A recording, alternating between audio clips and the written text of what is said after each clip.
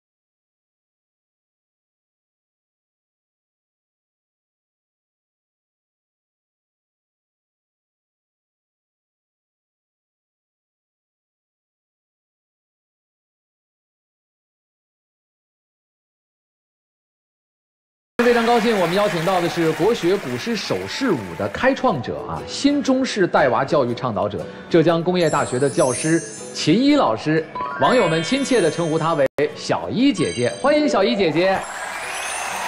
主持人好，您好，各位企业家好，人力资源老师好。刚才也是跟我们现场天津的孩子们一起带了一曲原创的手势舞，叫做《国家》。嗯，刚才这个舞蹈，我们觉得大家看的特别有滋有味儿哈。我看到那个黑锦一个劲儿的在台下跟着小朋友们的那个手势在做动作，对，特别好玩。哎，大家有没有注意到，有一位小朋友被留在了舞台上？你好，小朋友。大家好，我是小团子，我来自美丽杭州，大家来我的家乡杭州游玩。啊，谢谢谢谢小团子，这是我的女儿小团子，在女儿两岁多的时候，我想着我们的亲子教育或者说亲子互动是一种。被动式的灌输可能效果不大好，还不如活学活用，让它变得有趣好玩。就把我自己非常喜欢的古诗词，结合我们的手势，开创了这样一种国学古诗手势舞的创意的亲子陪伴模式。我编创的第一首古诗手势舞叫做《游子吟》，慈母手中线，游子身上衣。嗯，临行密密缝。意恐迟迟归，谁言寸草心，报得三春晖。那像这种创意的学古诗的方法，分享到网络上之后，就得到了万千宝妈的催更。没错，一下子就火了。看来你是从这个兴趣入手哈，对。对，让孩子们寓教于乐，对，寓教于学，通过我们的这种。关键手势和关键语义，像刚才提到的“慈母手中线”，它其实就是把一个穿针引线的动作给结合起来了。还有我们常常说“手指连心，手指连脑”，它也有一种就是帮助小朋友们开发智力，也是符合儿童发展的心理学。通过这种方式的话，让我们的呃这种经典的古诗词在我们的指尖舞动起来。整体的手势有多少？很复杂吗？还是说每针对一篇不同的古诗词，我们都会创编不同的手势和动作？大家可以发现，我们的经典古诗词有亭台楼阁、风花雪月，这些属于古诗词中的经典的意象。是我们的手势中也有这种关键的手势，比如说刚才我们看到了这样的一个呃手势呢，它在我们的国学古诗手势舞中可以代表房子。也可以代表亭子，也可以代表阁楼，比如说我们的登鹳雀楼，就是等等就可以一起来。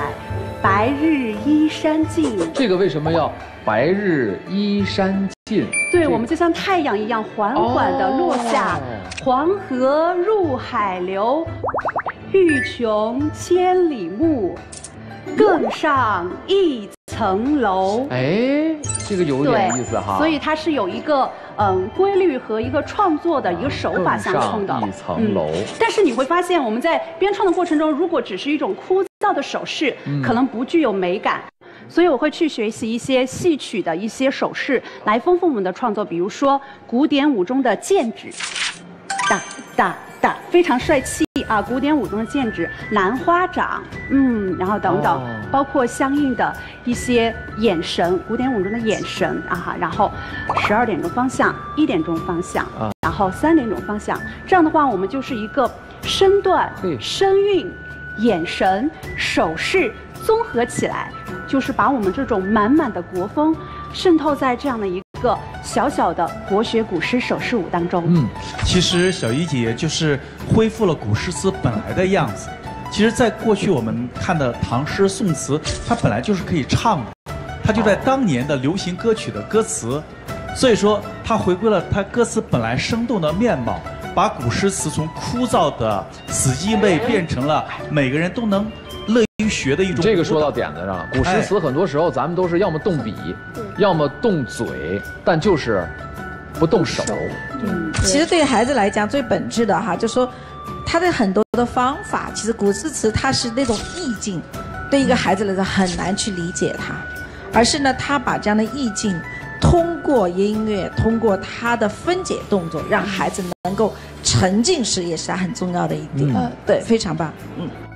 好，那我们就干脆和我们的企业家来互动一下手势舞的教学吧。啊，那也可以。你选择一首古诗词，关于辞旧迎新的吧，嗯比较喜庆的一首王安石的《元日》应该不错。好，咱们让小团子主教，然后妈妈辅助你教，好不好？好不好？你来当小老师，有没有问题？没问题。好，我们给我们的小团子老师一点掌声。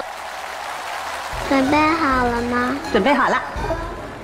爆竹声中一岁除，春风送暖。入屠苏，饮一杯屠苏酒，千门万户曈曈日，总把新桃左右交替，代表万象更新。坐着学有点拘束，要不然我们请企业家到台上来学一下吧，好吧？来，我们邀请黑锦还有朱世超，来有请二位。哎，我再邀请一位男企业家杨东升也到台上来。小老师你好，还是刚才咱们元日的这首古诗词，你呢再教一遍。爆竹声中一岁除，春风送暖入屠苏，牵牛万物曈曈日，总把新桃换旧符。这我觉得杨东升最后一个动作学的不对啊，他人家是这样的啊，你这是两只手这样的哈，你这很明显是武侠电影里的这个动作哈，你给他们背诵古诗，然后让他们做好吗？三、二、一，开始！爆竹声中一岁除，春风送暖入屠苏，牵牛万户曈曈日，总把新桃换旧符。朱老师啊，还有黑老师做的比较不错。啊，那中间这位杨老师呢？哎呀，杨老师稍稍稍稍的总跟两边的节拍不太一致啊。呃，杨老师总是做下一拍的动作，是吧？来，小团子，你告诉叔叔，你觉得这三位叔叔阿姨谁学的最好啊？啊，我们把掌声送给黑锦啊！黑锦得到了我们小团子老师的认可。谢谢你教谢的谢。我想问问世超，你觉得，在你的认知当中，通过这样的一种方式，把国学的知识，包括我们古诗词的这种文化，传递给那些小孩子们，你怎么看待这种方式方法？我觉得是对嗯古诗词，包括国学教育很好的一种辅助方式，没错接受起来会容易很多。哎，对而且动脑、动手对又动心啊，心也会跟随着动作而动。谢谢三位，也谢谢我们小团子老师的教学，谢谢。小团子啊，咱们的手势舞教学还有猜成语是吗？有。那能不能你出几个成语，你做手势，然后让他们来猜呀、从很简单到很难。很难就不要了，我怕他们猜不出来，他们都没你聪明。我们先出一个最简单的，七上八下，七上八下，嗯哇，这这就这就猜出来了，他们猜的对吗？正确吗？七上八下，哇，出一个再难一点的。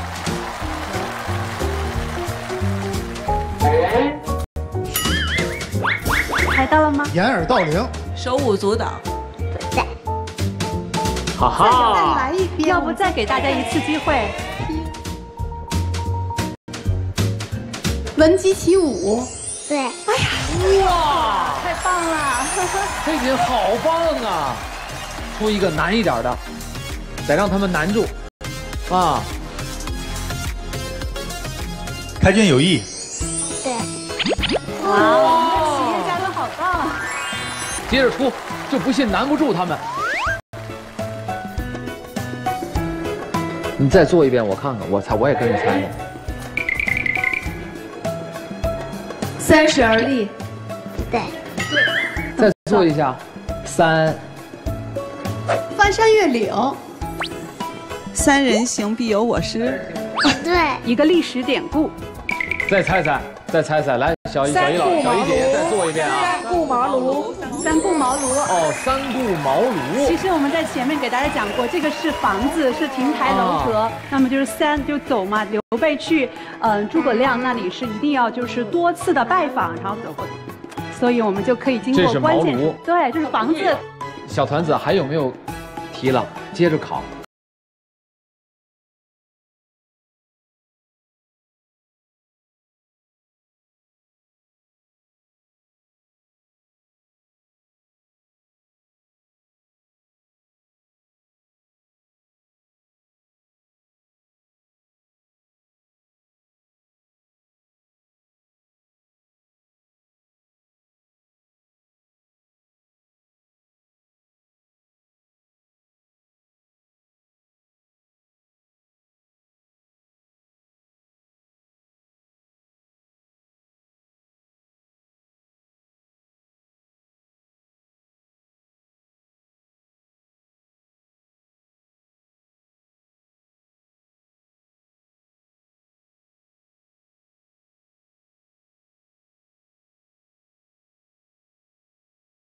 天足，这样。哎呀，我觉得要是这个能跟孩子们互动一下，还真的挺有意思的哈。全家人一起，像是我们的逢年过节，着汉服、习礼仪，玩国学古诗手势舞的游戏，大家都可以成为这样一个编创者。像小团子这样，到了六岁多，他有时候自己都会编一些手势舞了。一千个人眼里有一千个哈姆雷特，所以大家都可以对同一首诗有不一样的理解，有不一样的创作，有不一样的记录。您现在是高校的老师，嗯您的手势舞，年轻的朋友们，是不是也在您的带动下，也渐渐的开始接受，并且通过他们短视频的方式嗯传播给更多的年轻人？是的，像刚刚过去的国庆节，我们通过啊师生共创、表白祖国的方式，一起通过一些正能量的手势舞，表达当代青年人的一种担当。其实，作为一名母亲，包括作为一名大学的青年教师，我常常在想，我们应该培养怎样的孩子，培养怎样的人才？我想，应该是立少年之志，成君子大气，拥有创造力、竞争力、审美力的这样的有为青年。嗯，这样的话，可以拥有幸福的生活，也可以一起去建设我们的美丽中国。说的太好了。对，能不能现场再给我们带来一个手势舞的表演？没问题。也再次感谢您来到非你莫属，让我们在最好的时代，用最中国的方式展现我们最美的美丽中国。掌声欢迎！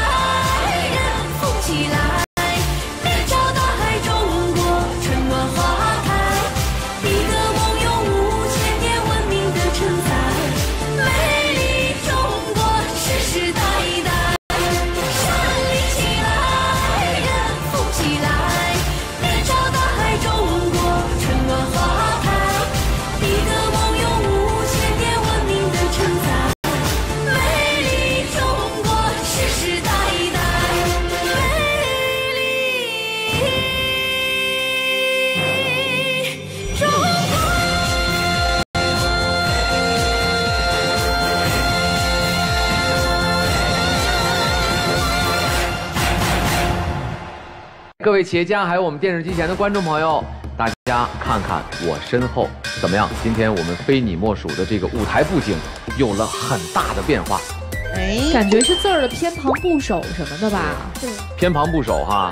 可是你们有没有想过，我们今天要请出的这位嘉宾，为什么我们要用这样的布景来欢迎他呢？我觉得他是一个组字高手，是一个造句高手。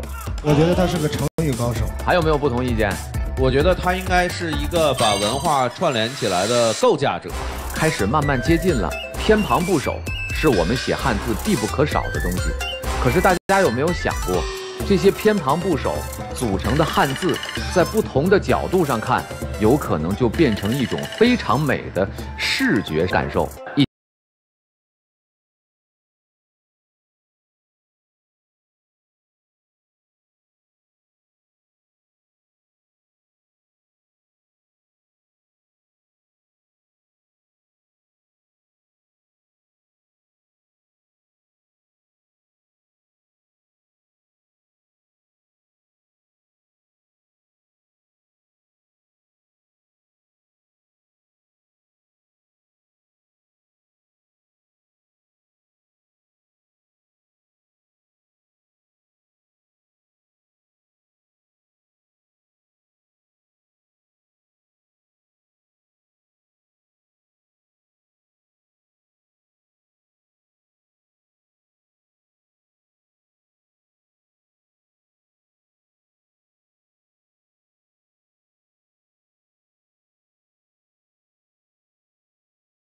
们响起热烈的掌声，有请牛楠老师。您好，牛老师。哎，主持人好。您好，您好，老师来，嗯，首先，请您给大家来先揭个谜底。您今天给我们带来的这些创作，它到底叫什么呀？大家叫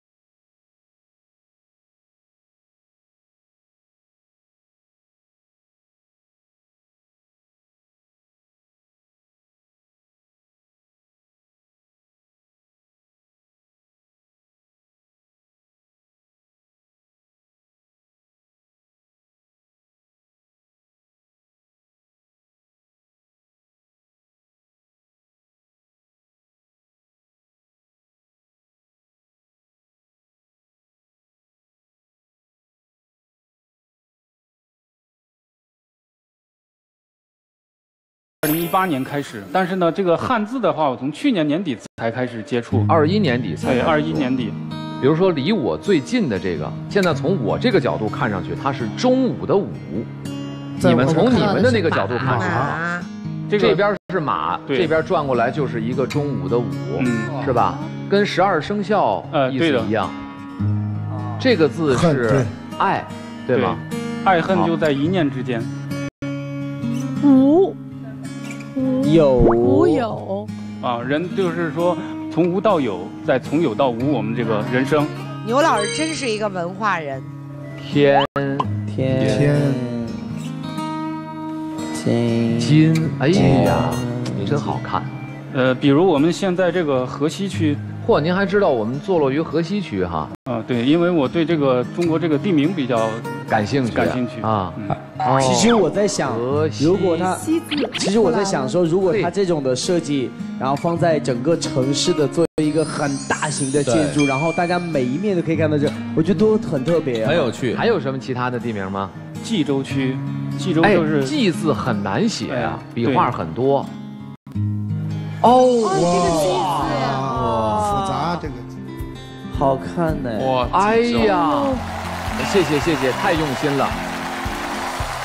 设计方面的话，它就是属于用两个汉字进行一个交集，平面的汉字，然后把它拉伸成一个可以称呼它为两面字吗？哎，对，可以。不是还有那个三个字的吗？三个字的话就西西西西安，安古称长安。哎呀，我觉得这个适合教学用，让孩子们更好的记住汉字，爱上中国的历史。这是黑是吧？黑龙龙龙哦，黑龙江，哇，江太牛了，太牛了这个就叫跟那个二面字相比，它这个就算是三面字对。三面的，但是需要您去摆它的这个位置，它们无法自动旋转。哦。四面字的话，它就说这个文字左右对称的话，它就可以四面一模一样。但是这样的字就非常少，只选择一位鼎嘛。然后楚庄王见周天子，然后呃问鼎之轻重，周天子说在德不在鼎，所以说鼎之轻重莫敢问也。也是一言九鼎这个成语的来历，对吧？对，在周朝的时候呢，是靠这个诸侯的鼎食鼎数来衡量一个人的地位，嗯对吧？天子对享用九鼎之食，对吧？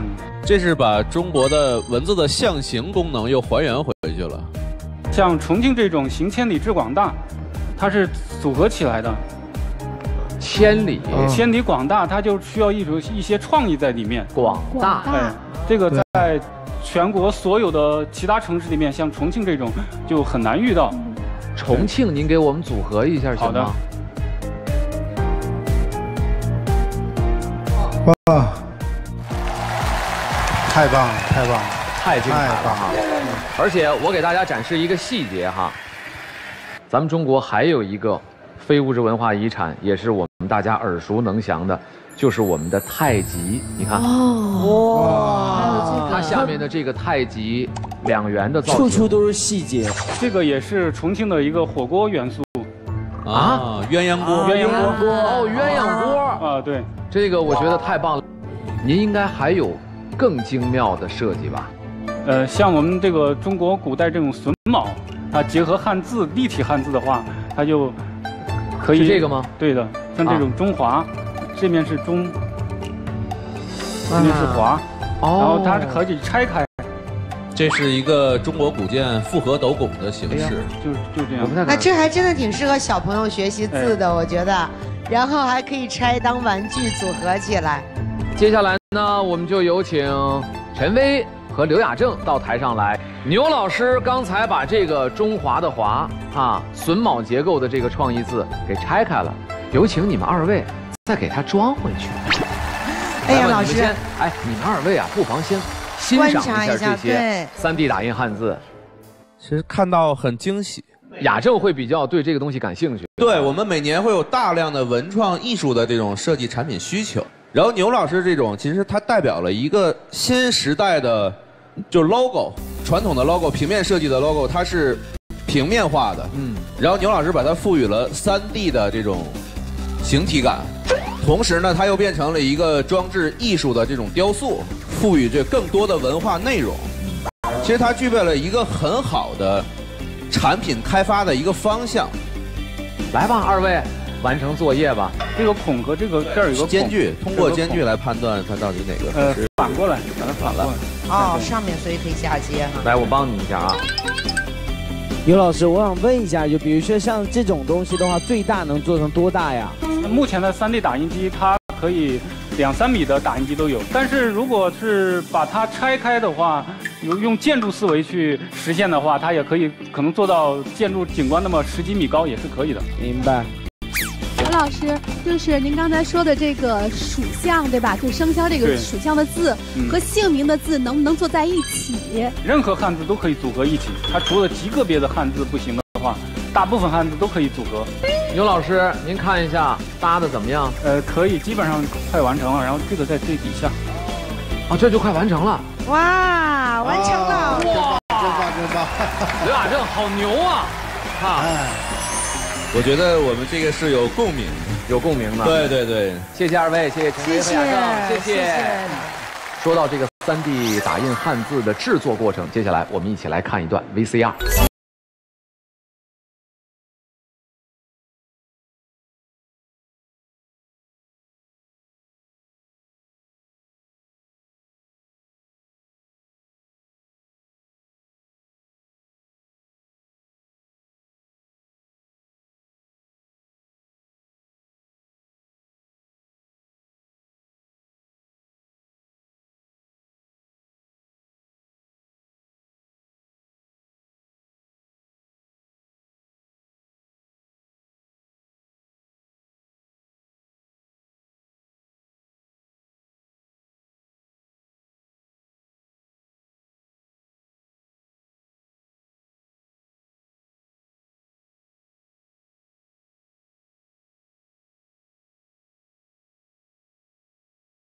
真好。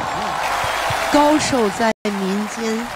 你有没有把这个我们做的这个三 D 的这个三维的这个文字，跟这个我们的教育和文化输出做结合？目前呢，做的一些趋向于儿童教具之类的，就是把一个汉字拆分组合做成榫卯的，或者呢，就是说我们这个小孩学英文的时候，它正面一个英文字母，然后侧面就是一个汉字，它这样更容易记忆，然后这个也更利于汉字它进行一个全球化的这个传播。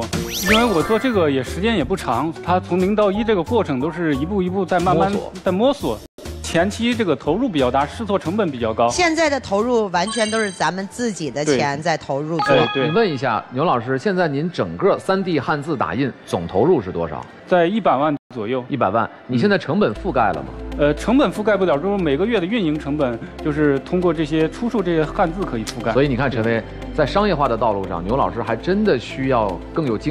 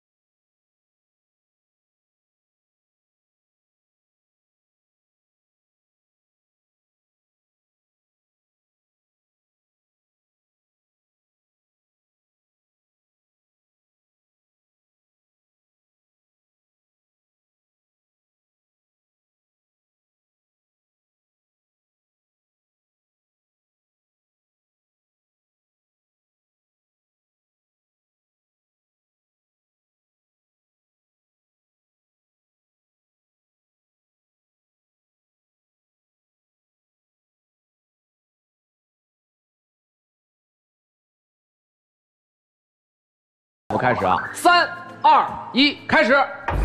呃，蹲起，蹲吧，蹲起，蹲起，红萝卜蹲。好，来，黑姐。住房的住，不是是家你好，责任的任，仁爱的仁，倩影的倩。单人传说的传。好了，蹲起吧。呃，不是当地人传说的传吗？对，但你速度有点慢了，赶紧蹲起。来，李宇松，家人的家，借钱的借。优秀的优，好，我换一个相对难一点的吧。哎，咱就用米字旁来吧。好，张亚甫还从你开始。这这粮食的粮，粗粘性的粘，迷加一个走字底，迷人的迷，康，米糠的糠。啊，蛋糕。糕子糕子。你是要做还是要说？蛋糕的糕。李宇松，呃，种子的那个子就是米字旁加个子啊，那个子菜籽的籽，糟粕的糟粕。把破让给我呗。你说糟，我说破，对吧？有吗？没有，蹲一个吧。谜谜语的谜，谜语的谜，好，大家玩的开不开心？开心。大家发现没有？牛老师其实要做 3D 打印汉字之前，他必须要对汉字有详细的了解，他要先把这个字拆开。大家再看吴胜，看看他那个胜，日晨日晨，林玉松的松，木木工工工。接下来我们要玩这个游戏，咱就来拆字。牛老师，您愿意加入到我们的游戏当中吗？哎可以可以可以吗？嗯我们再选三位企业家哈，张亚甫、庄十一、李院长，来有请三位。我给你们选了一个稍微有难度的字，“美丽中国”的“美”，记住，我不要偏旁部首，我要拆字啊，交替进行。如果对方说不出来，你们可以接着去说，好吧？啊，倒计时啊，来，一起喊，三、二、一，开始。呃，那个大王羊哦羊，来，等会儿交替进行，交替进行。三。二。士士兵的士。一。工人的工，那个士倒过来的士，说过了，说过了说过了，蹲蹲，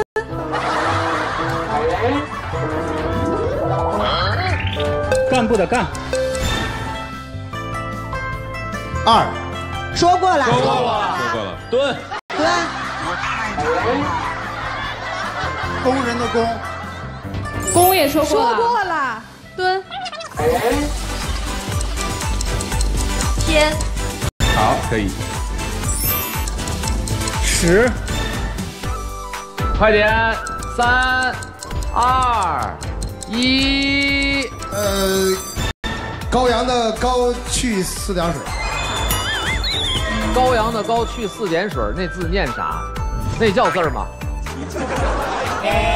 仨蹲起。好，这回我们从包子队开始啊，三二一，停。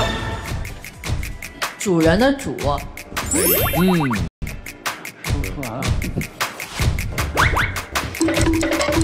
三二一，牛老师，你也按照游戏规则做一个蹲起哈。猜不下去了是吧？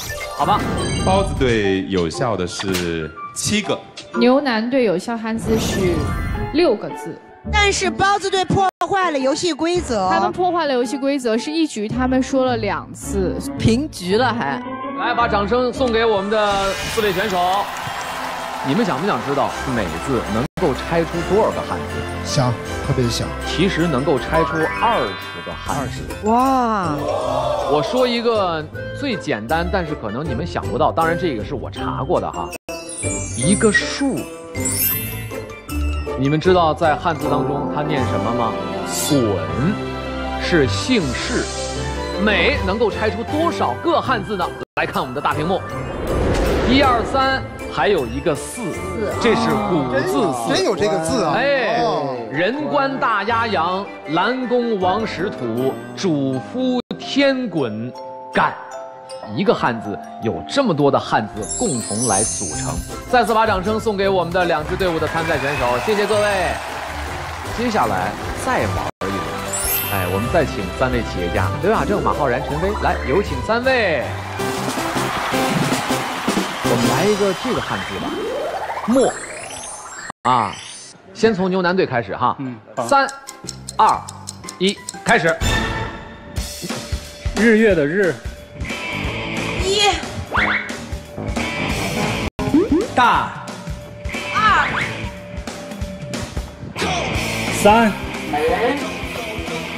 日，说过了，是说过了，做一个蹲起。约，那个约。啊，古，古代的古，有的，有文化，人，白，白色的白，十。陈薇再去说一个，因为刚才他们队说了两个。是，再说一个，说错了就没有机会了。等一下，号，哪个是日天的号？没没有号，现在上面只有日，那个天少了一横，做一个吧。来，亚正。好，接下来牛腩队开始。口，蛋，元旦的蛋，可以，天，倒计时了啊！三、二、一，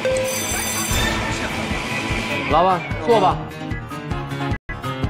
草，草，他说的是草字头。的那个草草字头，啊，它是个字。啊啊，亘古的亘，啊，马早，早上的早，没有早，坐蹲起，好，接下来雅正队。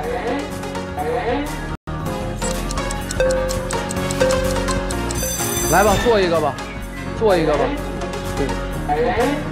行了，我觉得到这儿就差不多了吧？我们再说最后一个啊，你还有？对，是啊，吗？快快快！滚，刚才大卫老师刚才讲过的滚那个一，有标准答案里有是对，吧标？准答案里面有。我们请教一下二位裁判员啊，最后他们分别说出了多少个汉字啊？雅正队有六个有效汉字，啊，牛腩队有十个。哇！本轮比拼，我们的获胜队伍是牛腩队，掌声送给他们。来吧，各位选手，我们一起来看一看“墨”字有多少个正确的汉字。一个墨能够还是能够拆解出二十个汉字啊。第二轮我们拆解的这个字和我们的节目名称有关系，注意到了吧？非你莫属的莫，牛老师，您今天给我们带来的惊喜和我们的节目名称有关吗？非你莫属四个字，然后做成一个立体的“非你莫属”四个字，真的是的吗？啊，三 D 打印的汉字拿上来。三位企业家还有我们的牛老师手里拿着的就是我们“非你莫属”节目名称的三 D 打印汉字。刚刚大家也看到了汉字的这个旋转不同角度会有意外的惊喜。听我的口令，我们一起来看看这四个字的变化。三、二、一。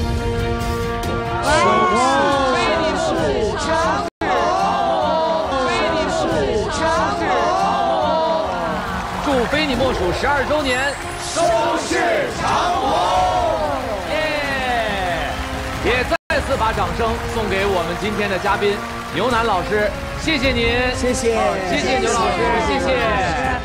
我们下一个项目将会是什么呢？一起来看。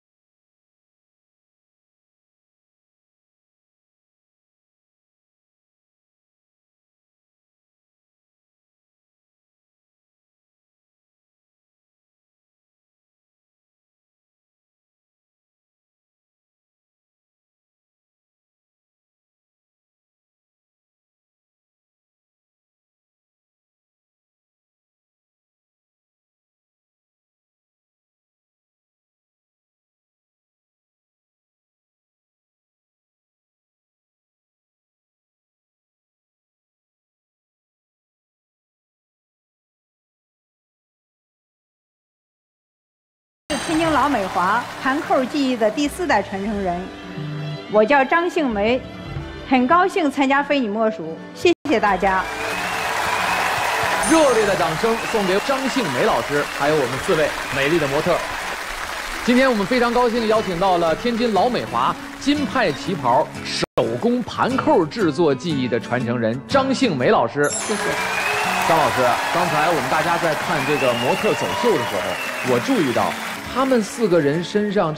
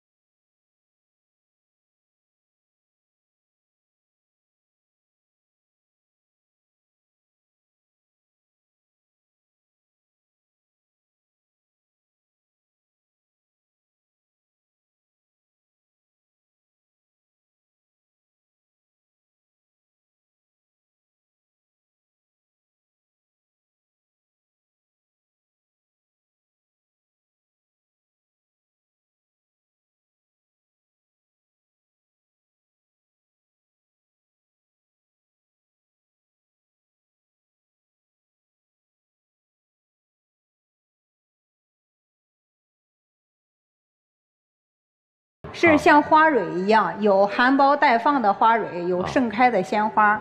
其实和身上的这些花式、花纹、图案，也是形成了一个呼应。对对，起到一个画龙点睛的作用。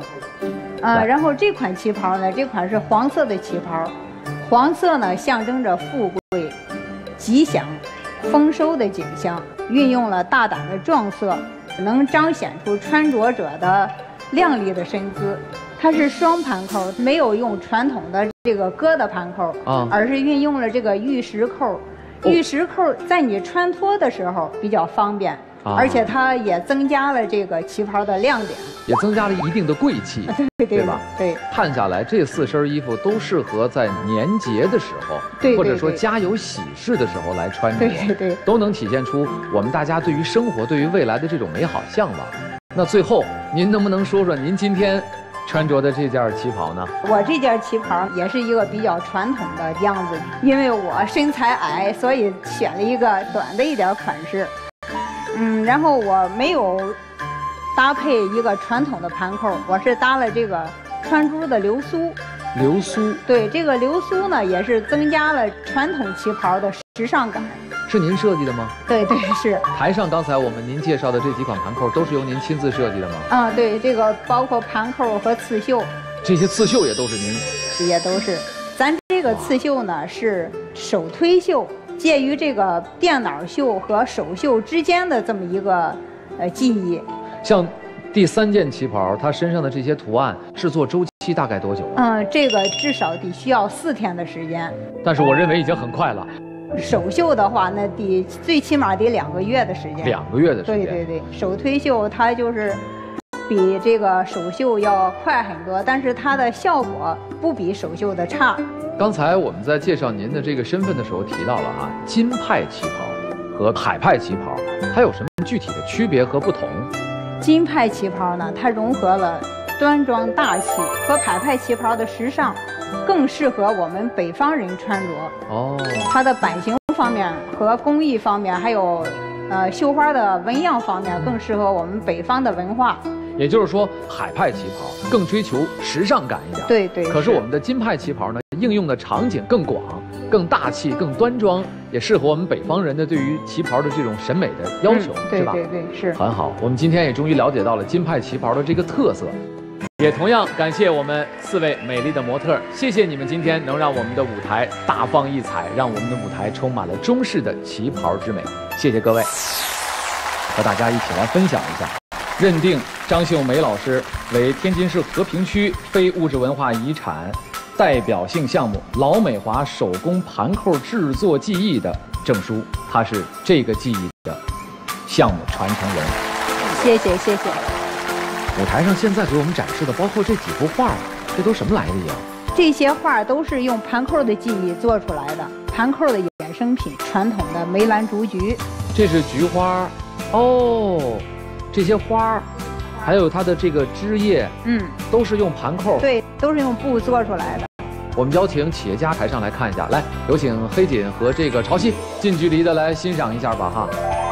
哦，它是立体的呀。对，可能在台下你们看起来像是它画在纸上一样但实际上到台上你们会近距离观察发现，它全都是用布艺用缝在上面。缝在上面您给我们大家来介绍一下这种盘扣画是怎么制作的？咱们这个盘扣一般都是用百分之百桑蚕丝的面料，因为它的光泽度比较好，裁成一点八厘米的斜条对折，咱把它做成这种条儿，哎，这个我觉得特别，用咱天津人讲话，哏儿，手做出来这个条儿。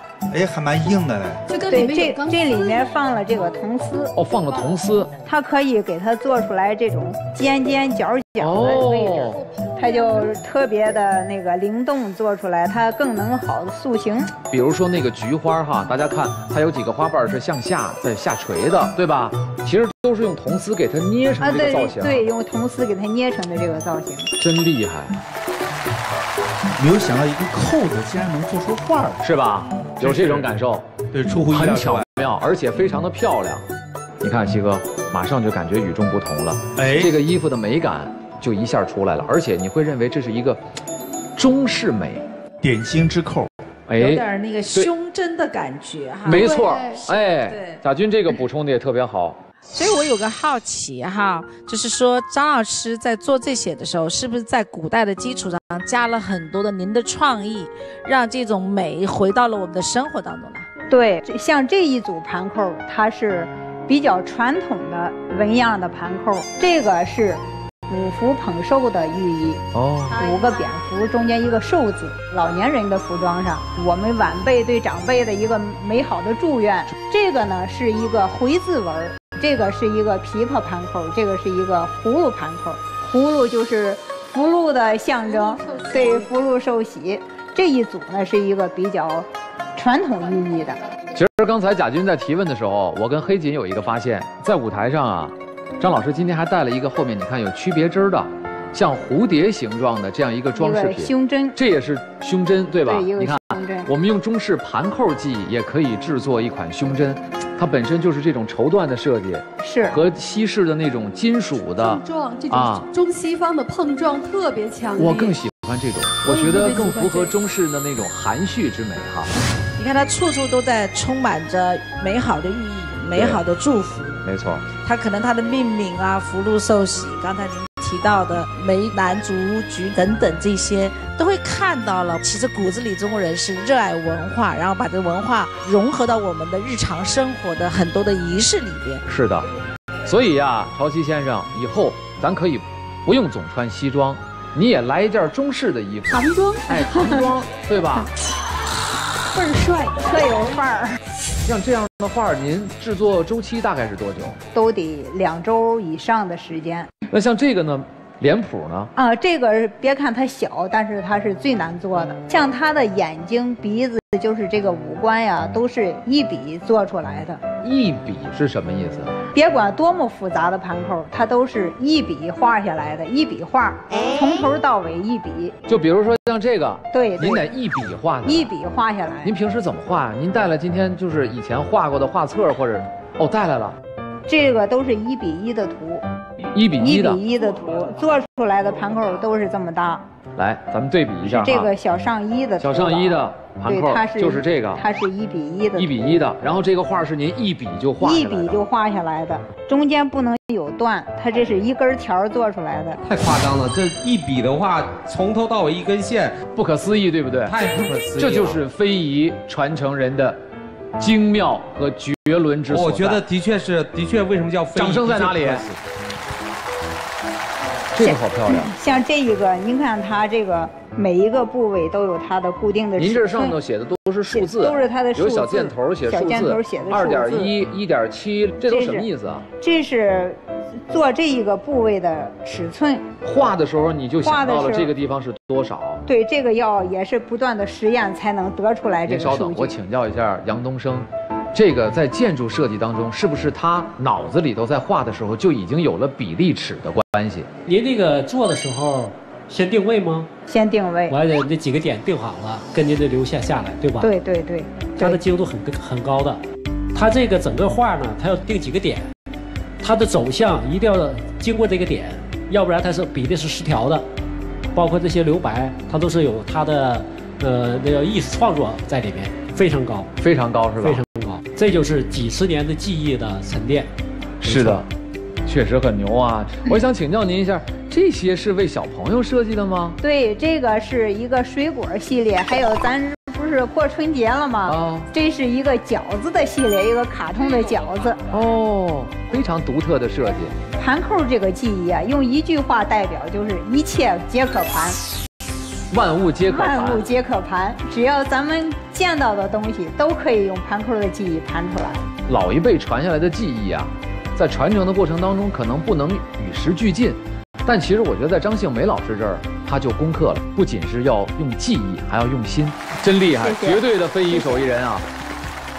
您做盘扣多少年了？十八岁的时候，服装技校毕业以后呢，正式进入了这个服装行业。最开始呢，我是做职业装，就是西装呀什么的这类的服装。在一三年的时候呢，我进入了老美华工作。嗯，最开始吧，我是做量体裁衣这一块儿的，无意中发现了师傅的这个精美的盘扣，一看就喜欢上了它。当时呢也收了有十几个人一起学吧那。一批人，对，由于我特别喜欢这个东西啊，可能做出来的东西吧更有灵气，更有自己的那个思想在里面。我很荣幸得到了师傅的真传，你们那一批人最后真正能够得到师傅就我一个人，只有您一个人，确实。所以我也是非常感谢师傅的。传承传承嘛，嗯总要一代一代的传下去。说了这么多，各位，我们是不是应该亲自的来体验一下啊？朱世超和靳晓啊，来有请二位到我们的舞台上。咱做一个这个蝴蝶胸针，蝴蝶胸针蝴蝶的啊胸针，好，条儿，您看这上面呢，嗯，我都标记了这个尺寸啊，明白。这个会不会有点像折纸？只是折的不止。对，咱俩心有灵犀，就是它其实是通过铜丝这种易塑形的一种工具，然后让它的图案更能够固定住，然后再用胶水，你看，粘到这上面来。咱们啊，不妨问问杨东升，盘扣画和折纸哪个更难？我觉得呢，盘扣难。为什么难在哪儿呢？它的尺寸非常小。对，它是跟着它是一条线走来。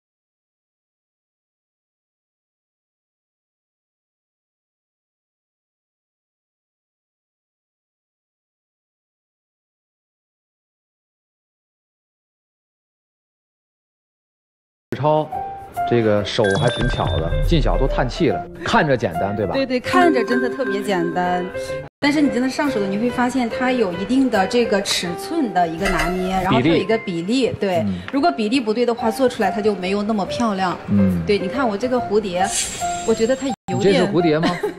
像个小蚂蚁。啊，是这样的啊，对，我觉得我这个已经有点不太像蝴蝶了，已经有。别放弃，别放弃啊！好，不错，真好，看来真的真的很好，朱世真的超这个率先完成了这个张杏梅老师布置的小作业哈。这个事情是很难的，为什么？真的吗？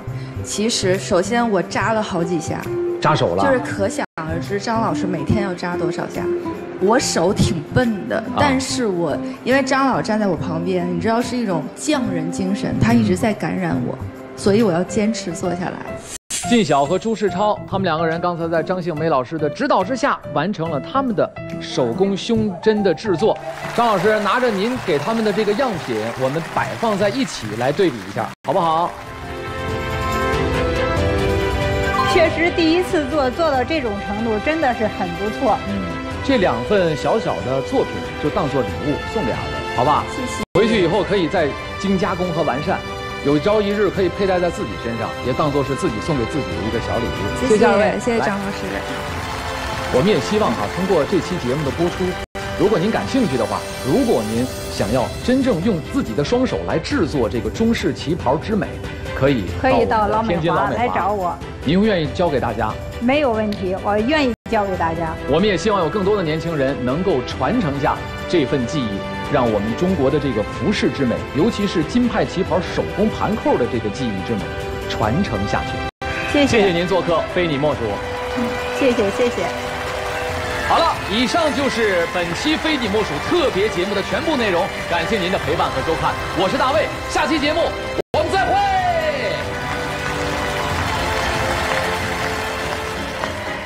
报名参与非你莫属，请将您的求职简历发送到非你莫属全拼二零一零 at 幺二六 .com。如果电视机前的各位企业家想通过非你莫属招募人才的话，欢迎您将企业简介、工商信息发送到非你莫属招聘全拼 at 幺六三 .com。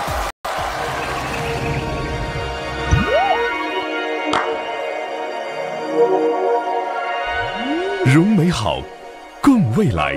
天津卫视。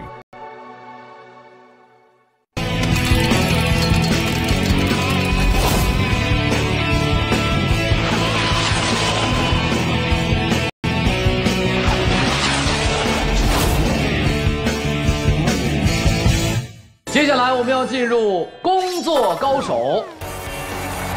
大家有没有想象过，你是某一领域的从业者，你希望自己做到这个行业的第一，想不想？潮汐想不想？当然想关东想不想？想。库尔特想不想？我已经是第一了。哎，哦，你已经是第一了。对对对失敬失敬啊！三百六十行，行行出状元。各行当中的状元，你说要给他们凑到一块儿去，让他们比拼，你们觉得会是一种什么样的效果呢？还真有这么一项赛事，这项赛事呢被称作是职业技能界的奥运会，它就是青年版的世界工匠比武大会，叫做世界技能大赛。而且我要告诉大家一个好消息，在世界技能大赛当中，来自咱们中国的选手一直是奖牌榜上的佼佼者。今天我们的工作高手就请来了两位参加过世界技能大赛的选手，让我们掌声请出第四十五届世界技能大赛信息网络布线项目银牌获得者韦国发，二零二二年世界技能大赛特别赛信息网络布线项目银牌获得者张洪豪，欢迎二位。大家好，我是来自天津市电子信息技术学院、天津市仪表无线电工业学校的韦国发，欢迎您。大家好，我是来自天津市电子信息技术学院、天津市仪表无线电工业学校的选手张洪豪。欢迎欢迎二位啊！洪豪，你身上带的就是这个大赛的这个奖牌是吗？对，这是我们我刚刚从日本的京都比赛回来带回来的奖牌。哇，热烈的掌声啊！你你你咬了吗？是是是纯银的哈，不掉不掉巧克力哦，不掉巧克力啊，那就好啊。二位现在的身份是什么？我的工作的话，现在主要是学校老师，以后啊平常的话是。你你多？大？今年是二十四。二十四啊，是的，是的。我今年二十二，同样也是咱们学校的一个老师，然后同时一边呃教学一边比赛。张老师好，韦老师好，没有没有啊，欢迎二位老师。先请教一下二位哈，什么叫信息网络布线？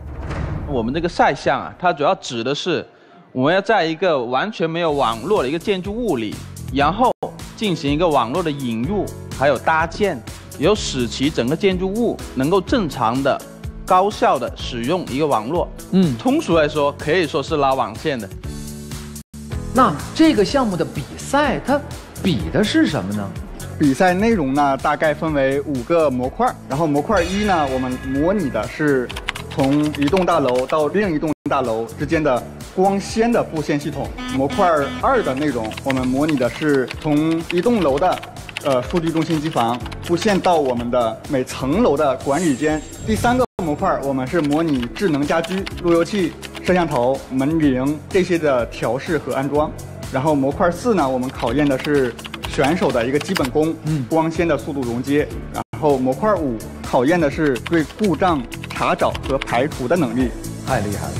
这呢是张豪在比赛的时候的一些照片。这是张豪在线缆桥架上正在对线缆啊进行一个整理，好帅啊！然后现在在做的话就是模块三一个智能家居的一个安装。这是模块四的竞速，这是在比赛。对，因为旁边的那三位都是参赛选手。对的，对的。哇，那天呢是特别激动的一天。为了这场比赛，我准备了很长时间，大概有五年多。年多。五年来就基本只干这一件事情，就为了这一件事一直在努力。然后那天比赛完，终于是对自己有一个结果，对我们学校也是有一个结果。我相信对很多职业学子来说，职教学子来说，都是非常振奋人心的一件事儿，对吧？对对。我想问问韦老师，哎，看到这一幕，你肯定最有感触，因为曾经你也是世界技能大赛的银牌获得者。啊回想过往，当时是怎么走进这个专业的呢？刚开始幺三幺四年读中专的时候，就对计算机类的这个大类的专业感兴趣，然后慢慢就是喜欢上在这个大类里的这个赛项，就是因为网络布线，然后就一直坚持了下来这样子。你是哪一年来天津的？听口音你不是北方人。老家是广东珠海，我第一次来是幺五年，但是我真正调动在天津的话是二零年，我现在是新的天津人，新天津人哈，来，我们掌声欢迎这位新天津人哈。那来到天津学这个职业教育，你这些年感受最深的是什么？首先是单位也好，或者上级部门，就是对我们这个领域或行业更加的重视，特别是对我们这种，呃新来的天津人，就是政策支持啊、资金支持啊，包括工作环境，有更多人来一起来天津，有把直接呃执教这个工作一直做好来，感触挺深的啊。感触我看你眼睛有点湿了。其实，一个南方小伙子，背井离乡来到天津这座城市，然后从事着职业教育，我想，你一定吃了很多的苦。嗯，其实大家有所不知，我们天津呢是我们国家职业教育的重镇之一。比如说，在天津有一所非常知名的院校——天津中德应用技术大学。这所学校在中国的职教界绝对是天花板一样的存在。而且我们天津在全国率先建立起了中高本硕博的这个职业教育人才培养体系，最高能够读到博士的学历。在今年的六月，我们天津呢入选了全国职教改革成效明显的名单。所以今天我们把二位老师请到我们的舞台上来，就是要让所有朋友领略职业教育的风采。说了这么多，接下来我想请教一下二位哈，今天的工作高手，您们给我们要展示什么样的技能呢？难道说现场给我们来布线吗？您还真猜对了，真猜对了。我们可以现场展示一下我们真正的比赛中的布线流程和操作过程。好，我们掌声欢迎。哎，这银牌可以给我，这个、这个、这个我愿意拿着啊，这个我愿意拿着，我先带着。啊，我这辈子也算是拿过世界银牌的人了啊。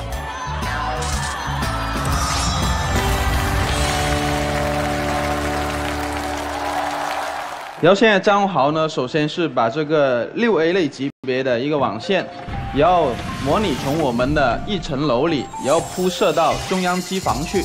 首先呢，把线附上这个桥架，抵达两端。呃，我真觉得刚才老师的这些细致的做法，大家可以看一下，他会去弄三下，我觉得他的手真的就是尺啊。对，又快又稳啊。对，现在选手呢正在使用这个魔术贴，然后对这个线缆啊进行一个整理，然后尽量呢要使它第一整洁美观，第二呢要有利于它的散热。现在呢是对线缆组整理完之后，然后我们将它呢跟线缆桥架进行一个固定。大家注意看啊，现在张洪豪他在快速的剪掉多余的这个线扣的部分。是的，是的。然后现在就将线缆装到了。非常整齐。我用舒服、治愈这个词，能够形容我此刻的心态。你真的有机会可以把你的工作日常拍下视频、短视频放到平台上，一定会让很多朋友了解职业教育的同时，爱上你所做的这个信息网络布线，真的太治愈了。好棒啊！而且大家再看一下这个垃圾桶，我们的舞台上干干净净，所有在布线当中产生的废弃物都在这里面，干净、快速、活儿好，掌声！今天真的是大开眼界。好，接下来我们再请韦老师和张老师带来下一个技能展示。这个呢是我们的一个 RJ 四五型的网络水晶头，它上面呢是有八个铜片，我们将线缆拨开，按线序整理之后，要插进去十三毫米，把十三线毫米拨开，对，再插进去。对，而且要排到规定的一个顺序。我的天，这个你们要做起来的话，你们做一个得多长时间？十五秒内。多少？十五秒内。不，十五秒怎么可能呢？十五秒的话，你连线都拨不开呀、十五秒，对呀、十五秒我还在找刀呢。他那个十五秒是特别容易，就是在拨线的时候就把里面的铜芯就碰掉了。哎，你怎么这么懂呢？我我我原来干过这个，第一份工作就是在做的这种帮别人接网线去布机房。啊，你人生的第一份工作你就做的这个？对对，因为我们公司的那个那个机房就是我布的。哎呦，太好了！我真的为中国这个领域感到骄傲。你提早的离开了啊，没有耽误行业的发展。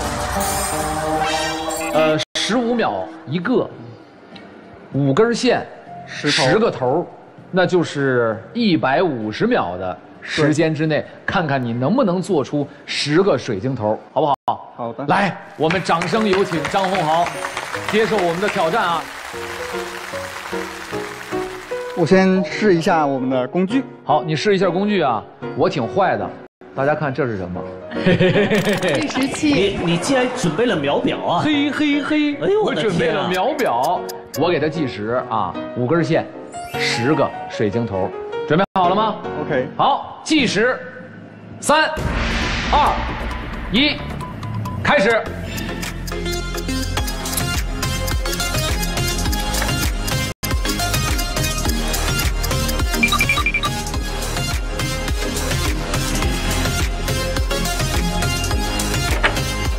知道吗？看他干活那种流畅感，就让人产生一种美的感觉，就那种技术的美。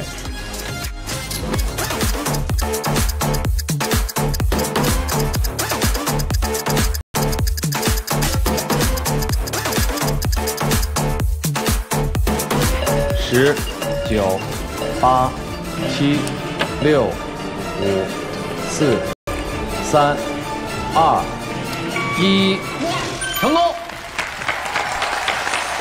我们先把热烈的掌声送给洪豪。我觉得魔鬼在细节当中，成功也在细节当中。这一项比拼还是要来看他所做出的这些网线是否畅通。先看第一组，成功。第二组，成功。大家注意啊，八个格，两边同时闪烁，这就算是这网线做成功了，对吧？好，我们看第三个，成功。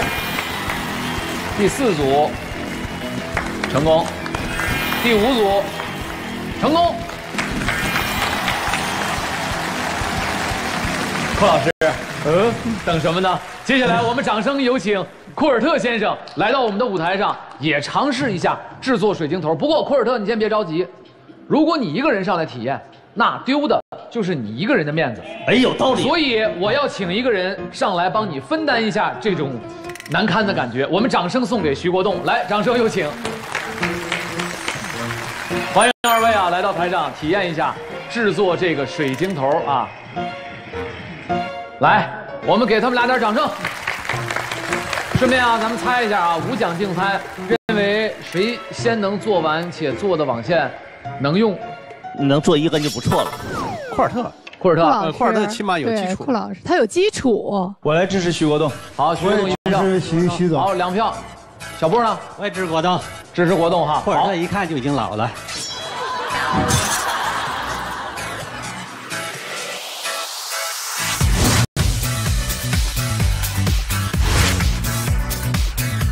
对，然后把绿色这两个分开，蓝色在前，白蓝在后。徐总关于这个线排队的问题得纠结半天。然后白白棕在前面，棕在最后。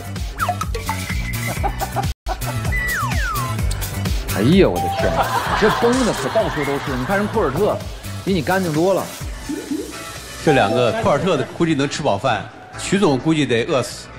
这速度，没有，我我质疑库老师的专业性。他说他曾经干过，我一点也没看出来他曾经干过。我我这还真不行。库尔特是为什么不得不改行呢？因为这个 因为实在是干不下去了。下去了。你的线，库尔特，你的手不要抖啊你！看一下这头，如果一样的话都是对的。可以，呃，像这种水平，在你们队里看饮水机够资格。应该不行。我们最慢的都都挺快的，最慢的都挺快的，你这还很含蓄了。神补刀。那我在这儿爆个料，他在这儿就是第一是默默的背各种颜色，然后第二个是等一会儿看我能怎么超过那个冠军的数值，就在这儿说，我说你真行吗？看完人家十五秒他就呆了。通了。哎，库尔特，人家做了是三个头啊，人家徐国栋还没停下来再做呢，你这做了一个，你就要给我们展示是吗？有练。他怕不通，白做后面几个记错了。来，我们看一下库尔特做的，嘿，哎，通了啊，通了，通了啊，见好就收，还还真不错啊。不不，见好就收，见好就收。我们先看看国栋第一根儿哈，这是有电模式对吧？得，这是插的问题吗？是不？是不行，不行是吧？完了，你不行。那第二根决定你今天胜负跟库尔特之间胜负来了啊！看看你的第二根，插上一头，再插一头。哎哎，不错不错不错，不错不错不错啊！不错不错哎，赢了赢了。两位，先说说感受。感受特别不容易，就因为我们也是制造业嘛，制造业这个有几块，一是研发要好，第二个呢制造也好，那第三个就是这种安装和服务。是的所以我特别能体会，就是一个要想真正的中中国从制造大国到制造强国，那这种匠人的精神，特别是安装服务和制造这一块少不了。所以说，给你点赞，特别不容易，我自己体会，我深有感触。我不瞒两位说，我的确看过，但是我就不知道这个这个线到底是干什么。其实我觉得真的就是在每一块的细节中，十五秒真的是不容易，非常非常不容易啊！把掌声送给我们两位企业家，谢谢徐国栋啊，谢谢我们的库尔特老师，谢谢。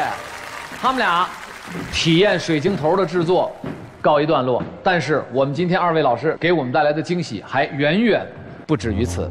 今天在现场会和我们一起来玩一玩光纤的制作。我们现在看到的这个呢是尾纤，它是比光纤粗了很多倍的。我们真正要操作的只有一百二十五微米，相当于一两根头发丝的粗度。今天要不然接下来给我们来一下光纤熔接的展示，好不好？行，来，我们掌声欢迎。现在呢，他将这个室外的一个呃光缆，也要固定在桌上，准备进行一个熔接。看起来很简单、很乏味的这个工作内容，但是在我们的这个国家级的选手当中，真是赏心悦目。哇，这个我可以摸一下吗？这个是我们真正的非常细的一百二十五微米的光纤，好细呀、对，我觉得这个平时我们都看不到。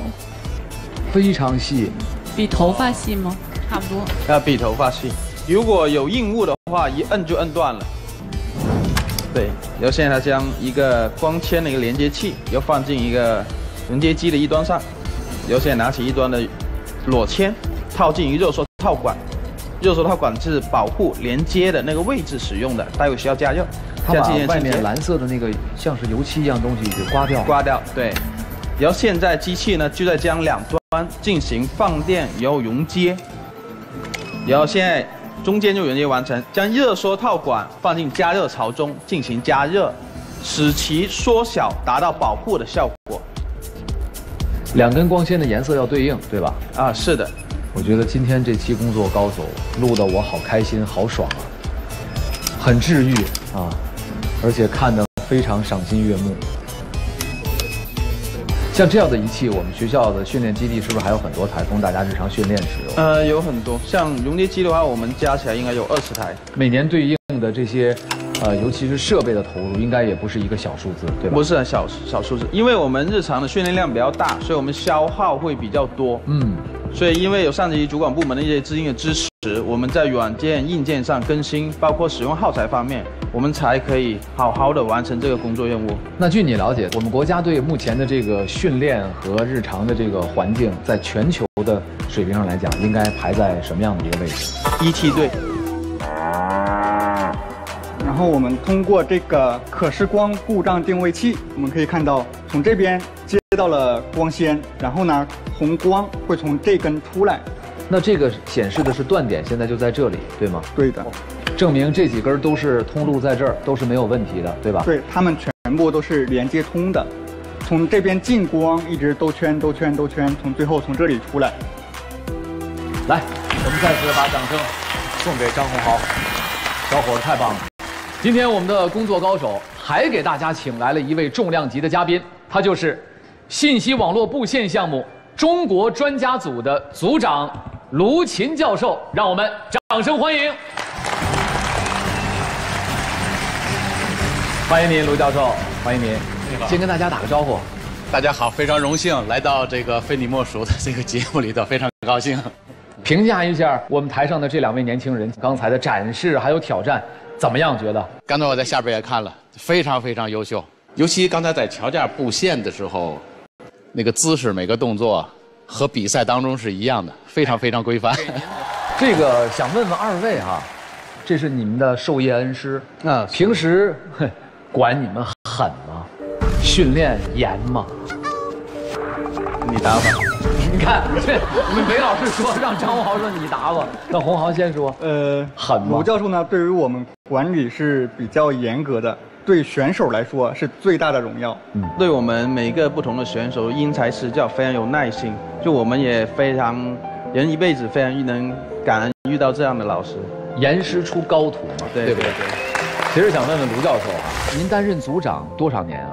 我们这个信息网络布线项目是从二零一二年开始，嗯，到现在整整十年了。十年了，十个春秋了啊！那作为这十年的亲历者，您有什么最深的感受？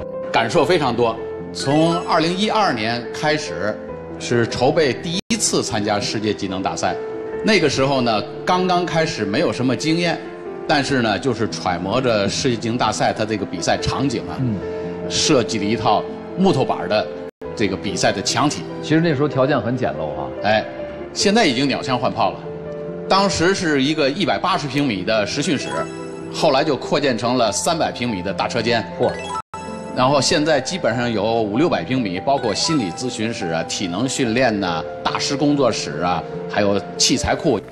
其实我觉得条件改善的背后，是我们国家综合经济实力提升的一个缩影，对吧？现在作为天津市人社局啊，对于我们这个竞赛训练也好，人才培养也好，有非常完善的这些个体系和一些个政策。从资金上头，从场地上头，从设备来源上头，那么现在目前有很大改变。因为现在呀，就是形势特别好，政策特别好。像韦国发已经是副教授了，二十多岁，高级工程师。二十四岁的副教授，高级工程师，哎呦，真棒啊！张洪豪按照天津市的政策，是完全可以直接申报副高职称。哇，这这是最新政策。两位失敬啊，真不知道这两位小伙子 这么厉害。因为天津市是在全国来讲是职业教育走在最前面。没错，一现在叫做国家的现代职业教育改革创新示范区。没错，未来的想法呢，